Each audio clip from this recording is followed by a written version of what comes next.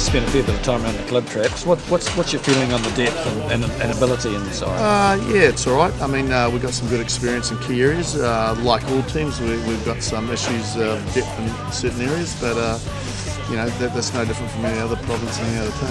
It's amazing uh, when you look at the squad on paper for Auckland not to have a current uh, or even a former All Black in, in, in your squad for the New Zealand Cup. Take out the guys who are obviously with the side over in, uh, in South Africa now. Yeah, well, yeah, exactly. I suppose it is, but uh, I suppose it's a good opportunity for those and uh, that are there. And uh, you know, the, the ABs come back from their program. There might be times we see see a little bit on them, but we haven't named them in it because uh, you know we don't know what they'll be, and determine on their workload and injuries and so forth if we if we see them. Nice to have a guy like Benson Stanley uh, back playing rugby again, and no doubt. Uh, uh, Touch Woody will have a full part in your campaign. I hope so. Um, he, he's still not playing yet.